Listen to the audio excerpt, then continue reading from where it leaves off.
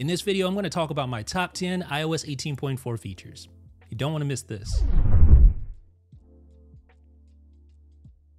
So 18.4 comes bundled with several new emoji characters to choose from, including the bags under the eyes emoji. So if you just type in that bags under eyes, you're going to find that preview there. And that is just one of the several different emoji characters that you'll find in 18. 0.4. So you also have this fingerprints emoji. We swipe over, we'll see the bags under eyes emoji. That is sure to be very popular. You also have a tree without any foliage. You have this root vegetable. You have a harp and you have a shovel. And then finally, you have the splatter emoji. So which one's your favorite? Let me know down below. And for those times you just want to chill out, there's the new ambient music feature. So the ambient music feature in iOS 18.4 is, well, you can see it right here. It's like a basically a pared down music app. And you can, of course, use your transport controls to go back, skip forward, uh, to play pause, control your AirPlay destinations, change the volume, scrub through the song, etc. But you can't really do anything else. Like for instance, you can't actually go to the artist information, etc. You, but you can see here that it actually is a standalone application called Ambient Music. So how to access this? Well, let's walk through that now. To do so, you're going to open up Control Center. And Control Center, just swipe down from the upper right hand corner like that.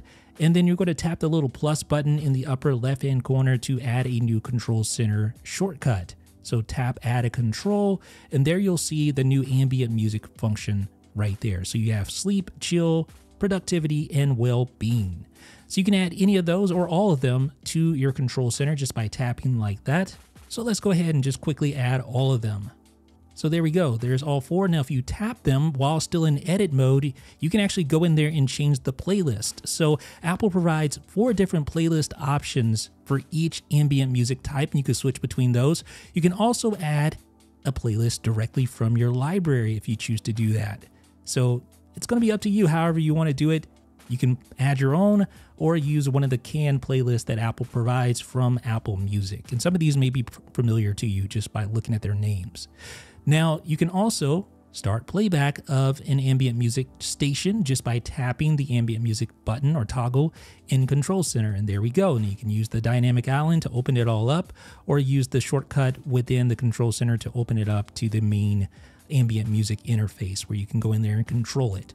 Now, here's the other thing about ambient music. Since it is a control center toggle, you can actually add this directly to your action button to be able to invoke the ambient music directly from the action button and you can go in there and customize the playlist there as well. So now if I press and hold on the action button, you could see in the dynamic island, it starts playing back my ambient music station just like that. And also on the lock screen, since it is a control center shortcut, you can add an ambient music shortcut there. There's also the ability to prioritize your notifications with Apple Intelligence. So all you do is go to settings, notifications, and you'll see where it says prioritize notifications. So when you go there, you can see Apple Intelligence can show you notifications that may be important in a separate section on the lock screen, and you can actually choose which apps you want to work with the priority notifications. So these notifications stand out. It's going to be very obvious when you receive them. And iPhone 15 Pro owners rejoice because there's now a way to invoke visual intelligence using the action button thanks to new visual intelligence shortcuts. So you can see you can actually assign a control for visual intelligence and invoke it that way. And that works just as you would expect. But what's cool is that in 18.4, when you go to assign the control to the action button, there's actually a dedicated visual intelligence action for the action button just like that. So you can just select that one and that will allow you to quickly invoke visual intelligence using a long press on your action button just like that. And you may be wondering, what is visual intelligence exactly if you've never used it or if you don't see the uh, benefit of it? Let me just show you a quick demonstration. So basically, you put whatever you want in the viewfinder like that. And for instance, you can tap to perform a Google image search and it will quickly tell you what this is, whatever you're looking at. So in this case, Keychron K3 Max, it was accurately able to give me details on that. Or I can tap where it says ask and it will use ChatGPT to determine what this is. So just give it a second. You can see this is a mechanical keyboard with a compact layout. So it gives you those details. But what if I wanted to know who makes this? So I just type in this box, say who makes it, submit that query, and it's working with ChatGPT and it's going to try to figure it out. And you can see it does a good job. This image appears to be from Keychron. If you're a foodie that happens to be an Apple News Plus subscriber, there's a new feature that I think you're going to like. And this feature allows you to view recipes within the News app. So if you're an Apple News Plus subscriber, you can view recipes. You can also view articles related to those specific recipes. And it gives you some details on baked ziti, for the, for instance. Here, I tap recipe, and now if I scroll down here, I can see the ingredients, and then eventually it'll show me the directions, and I can even get more info on the recipe. But notice what you see here. You see the ability to set a timer directly from the recipe instructions, and you can actually set multiple timers if you want to do that. You can see step eight, bake ziti, the timer's counting down. So you can see how this could be very handy on a larger device like an iPad or perhaps a HomePad. What do you guys think? And finally, robot vacuum support in the Home app comes to 18.4 thanks to Matter compatibility. So this is something that I've yet to be able to test, but I'm looking forward to getting one of the compatible robot vacuums like the SwitchBot S10 robot vacuum and mop. Uh, so I'll be getting that soon and will hopefully be walking through controlling my vacuum with Siri and through the home app. But that is a much, much needed feature and something we've been looking forward to for quite some time. There's also a new proximity-based macOS setup in 18.4 if you're running macOS 15.4 on newer Macs.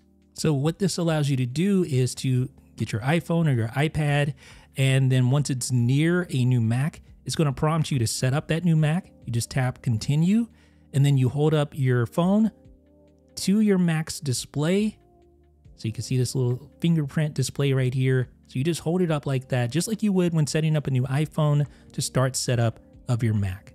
Super handy new feature. And the categories that we've been enjoying on iPhone in the Mail app finally comes to iPad OS in 18.4. So here you can see your various categories like your primary, your transactions, promotions, etc. right there and you can break it down between all those different categories and view only those related items. And then within each email thread, you can go in and further basically break it down to either show only things related to promotions while under promotions or show all mail from that particular sender as well. So definitely nice to have parity with the iOS version of mail. And 18.4 includes lots of subtle but very handy new photos updates. Let me walk through those for you right now. So for instance, you can switch in the album section to a key photo view instead of the list view. And now you can also sort utilities and media types if you want to. So here you see media types, you see utilities below that. If I tap media types, you'll see a new edit button in the upper right hand corner. And that's going to allow me, for instance, to drag up slow, well, didn't actually work that time, but if I tap and drag slow-mo up using the drag handle, then I could put that in one of the first four slots. And why is that important? Because the first four, four slots are what appear on the main page there in the Photos app. And there's the ability to filter on shared with you or not in an album. And this lets you quickly find photos that were sent to you.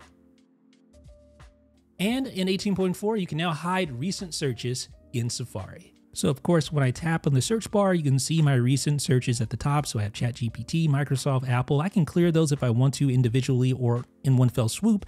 But now you'll find this new show recent searches toggle. You can turn that off. And now when you search, there's no recent searches displayed. So that is a look at iOS 18.4. What is your favorite new feature? Of course, this is just the tip of the iceberg. If you want a full look at all of what iOS 18.4 contains, be sure to check out my full walkthrough I'll have that link down below in the description. And if you appreciate videos like this, be sure to thumbs up and click the subscribe button. This is iOS Decoded from Jeff Benjamin with 9 to 5 Mac.